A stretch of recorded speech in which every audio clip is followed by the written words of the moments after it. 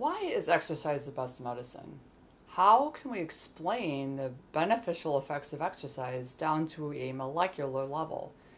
Hi, I'm Dr. Maria Conley, and today I'd like to talk to you about how tiny proteins called myokines are synthesized and then released by contracting muscle cells when you exercise.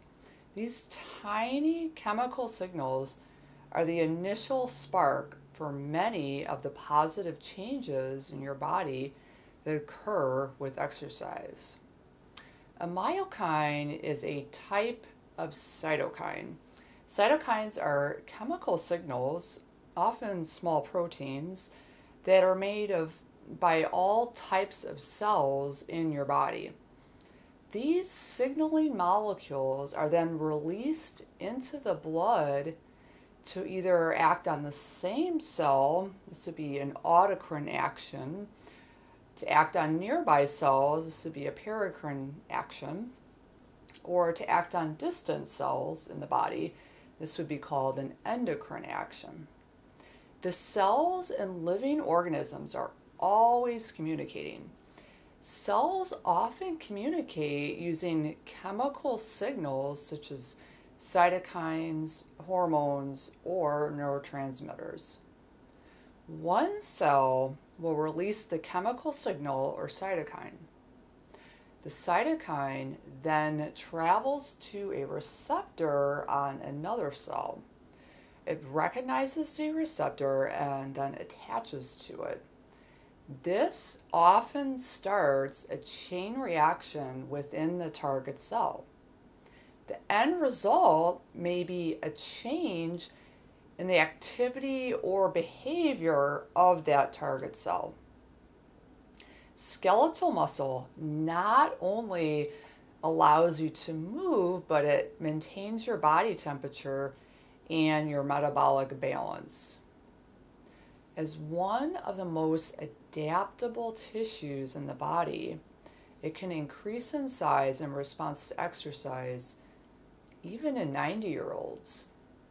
Skeletal muscle is the largest organ in the body, and it releases hundreds of different myokines, many of which have not even been discovered yet.